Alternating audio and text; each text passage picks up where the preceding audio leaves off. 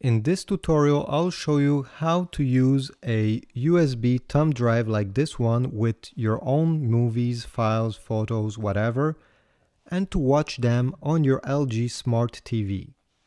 The first thing you have to do, obviously, is to connect this USB. The first thing you need to do is obviously to connect this USB key to your LG Smart TV port that is located on the back. Once you connected it, you should get this message popping up saying and asking you if you want to view photos and videos or if you want to listen music that is located on your USB stick.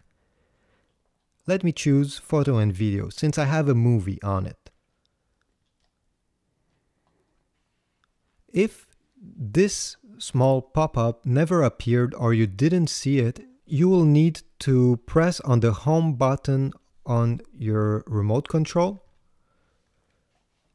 and to go to the photo and video option that has a logo looking just like this one.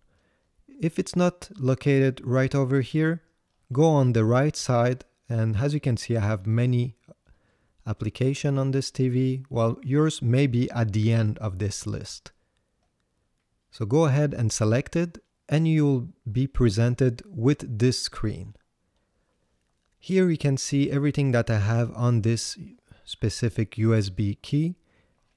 I have a movie right here. To launch it, you just have to select it and press the OK button on your remote control. It will automatically launch it and you'll be able to watch it. Now you may ask which USB file can this smart TV play back?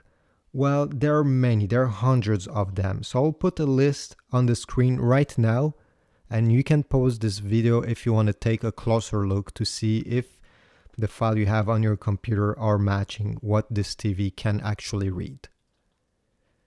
Thanks for watching and please subscribe, give a like and maybe even comment if this was helpful to you.